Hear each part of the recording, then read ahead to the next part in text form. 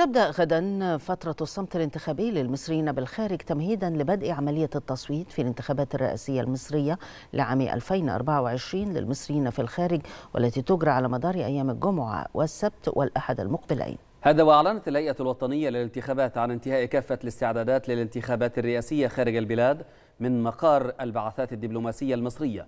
وتجرى العملية الانتخابية خارج مصر في 137 سفارة وقنصلية وفي 121 دولة حول العالم.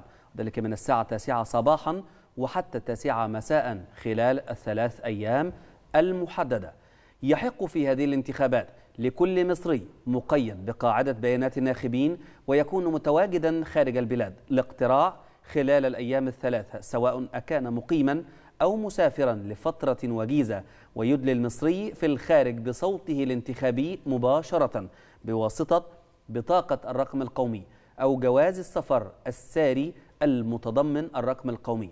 هذا وقامت الهيئة الوطنية للانتخابات بتدريب السفراء على الإشراف الانتخابي.